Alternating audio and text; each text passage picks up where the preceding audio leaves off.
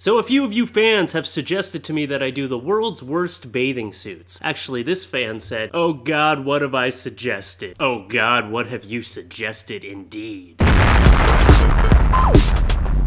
Hey, what's up? Hey, what's up? So today I've gathered together some pictures of the world's worst bathing suits, according to me.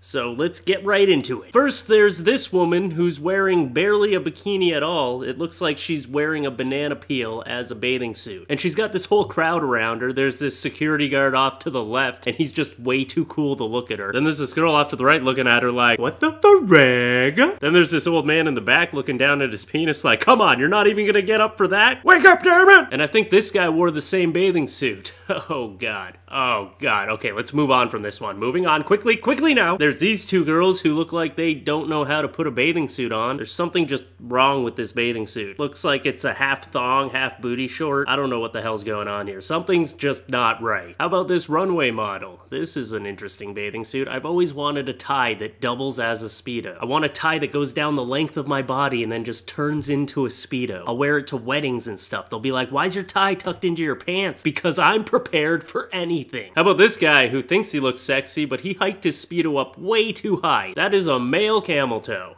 or a camel tail. How about this woman who wore road signs and chains as a bathing suit? That is just not safe to swim in all that metal, all those chains. You're just asking to sink to the bottom of the ocean and drown. Plus, it's just gonna rust after a few swims. Let's hope she's not actually swimming in it. She's got playground rules on her. If playground signs looked like that, I think a lot more pervs would go to playgrounds and not just the pedophile pervs. Here's a full body bathing suit, face mask and all. There's a one piece bathing suit, then there's this full piece body suit. Yeah, that looks so comfortable, relaxing in the sun on the beach sweating like a motherfucker. How about this punk rock bathing suit? It's got a flotation device attached to it. I guess that'd be good if you want to fend off sharks. A shark would attack you and maybe this would protect you. No, you'd still be fucked. Here's a homemade bikini. That is one hairy bikini. This guy shaved his chest hair into a bikini. That's a pretty good idea, actually.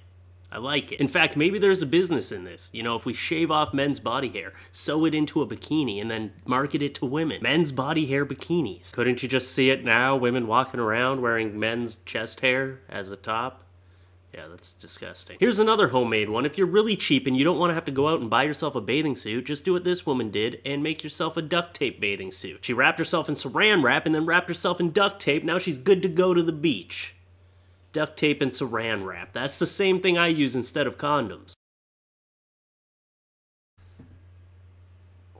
Hi, Rosie. Oh, you're still filming? Okay, come back later. Bye, Rosie. So thanks for watching my video on the world's worst bathing suits, and thank you to my fans for the suggestion. If you've got any other world's worst ideas you want me to talk about, I'm always open to suggestions. You can leave it in the comment down below and let me know what you think. If you really enjoy my style of videos and you want to see more of me every week, then subscribe to my channel, and you'll see more of me very soon. Just hit that subscribe button, and I will see you guys again very soon.